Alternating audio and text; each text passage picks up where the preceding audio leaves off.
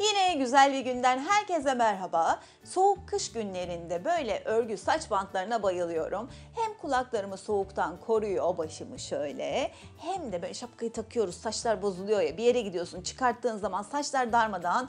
İşte bunda öyle bir risk yok. Hem de böyle güzel şıklık katıyor. Kıyafetlerimize uygun taktığımız zaman da harika oluyor.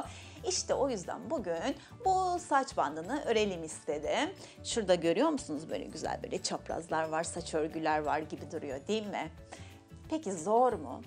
Zor olsa ben yapar mıyım? Yine böyle dümdüz örgüyle örebileceğimiz bir şey yapacağız ve çok kolay bir şekilde yapacağız. Hem de o kadar kısa bir sürede oluyor ki bundan böyle rengarenk yapacağınızı düşünüyorum. Hadi lafı daha fazla uzatmayalım hemen yapımına başlayalım. Kalın bir ip alıyorum. 7-8 numarayla örülecek bir ip. Ben 7 numarayla öreceğim. Saç bandım için 16 tane ilmek atıyorum. Eğer küçük kız çocuğuna yapacaksanız yine 16 ilmek atın ama bebe yünüyle atın. İnce olacağı için ince şişle tam denk gelecektir. 16 ilmek attık. Şimdi düz örgü öreceğim. Düz örgü nasıldı? Çaprazdan sokuyorduk şişimizi ve örüyorduk. Tek yaptığımız bu.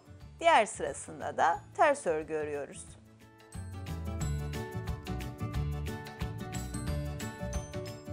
Dediğim gibi diğer sıraya geçtiğimizde de ters örgü ördüğümüzde o güzel V'ler oluşmuş oluyor.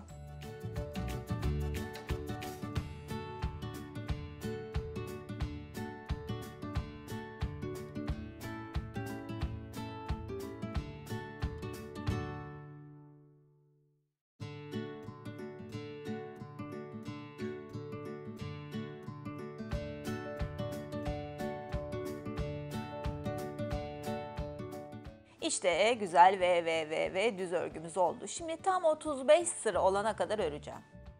Şimdi 35 sıra oldu. Püf noktasına geldik. O güzelim burguyu yapacağız. 16 ilmeğim vardı. Şimdi 8 tane ilmeğimi örüyorum.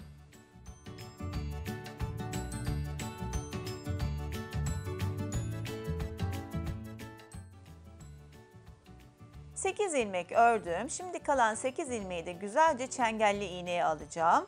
Çengelli iğneniz yoksa daha önceden de yapmış olduğum gibi bir çöp şişe de alabilirsiniz ya da şişi de burada bırakabilirsiniz başka şişiniz varsa. 8 ilmek bir tarafta, 8 ilmek bir tarafta kaldı. Şimdi şişte olan 8 ilmeğimi 10 sıra öreceğim.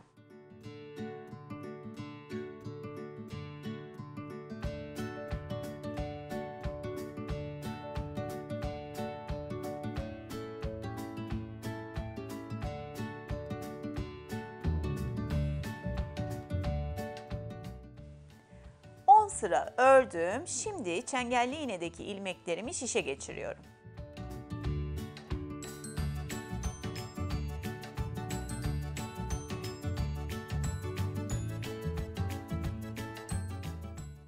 Ve diğer ilmekleri şimdi çengelli iğneye takacağım.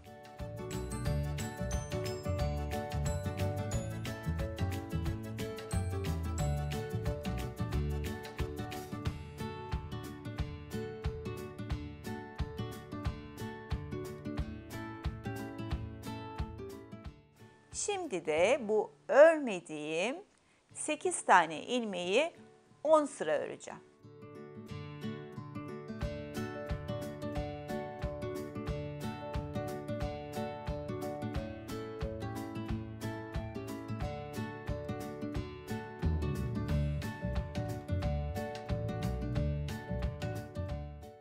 On sırada burayı ördük. Şimdi yapacağım iş çok basit. Şunu alıp üstünden geçiriyorum. İşte gördüğünüz gibi o güzel burgu yarım saç örgüsü oluşmuş oldu. Şimdi çengelli iğnedeki güzel ilmekleri de şişe geçireceğim. Ve tek yapacağım şimdi tüm ilmekleri birlikte örmek.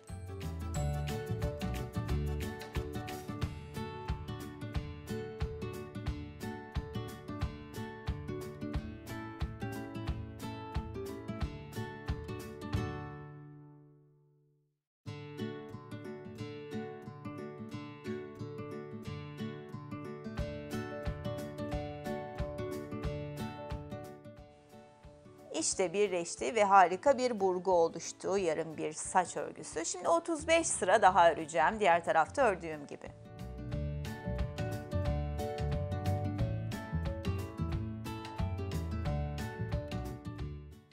35 sıra ördüm. Siz de başınızın çevresinin yarısı kadar öreceksiniz. Şimdi de bitiriyorum. Bitirme işlemi nasıldı? İki tane ilmeği birlikte örüyorum. Ve ördüğüm ilmeği diğer şişe yine diğer ilmeklerin yanına alıyorum. Ve sıranın sonuna kadar aynı şekilde gidiyorum.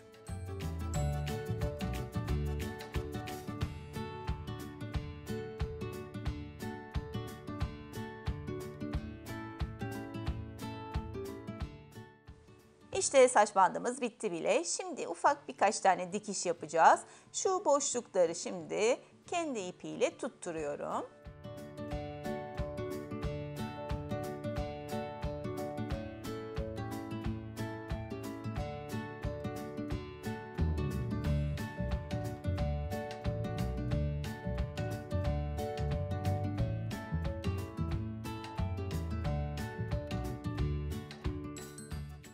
Ve burgumuz tamamen oluştu. Şimdi de iki ucu birbirine şöyle güzelce dikiyorum.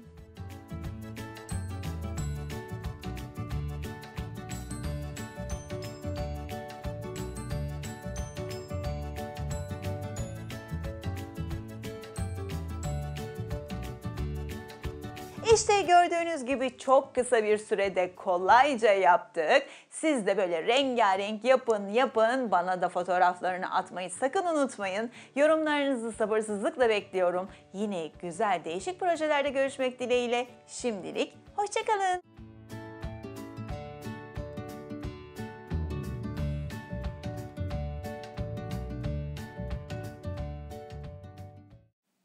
İzlediğiniz video hakkında ne düşünüyorsunuz? Merakla yorumlarınızı bekliyorum. Beğenilerinizi, eleştirilerinizi lütfen bana yazın. Ayrıca ilginizi çekebileceğini umduğum daha birçok video var. Bu videoları kaçırmak istemiyorsanız kanalıma ücretsiz abone olun.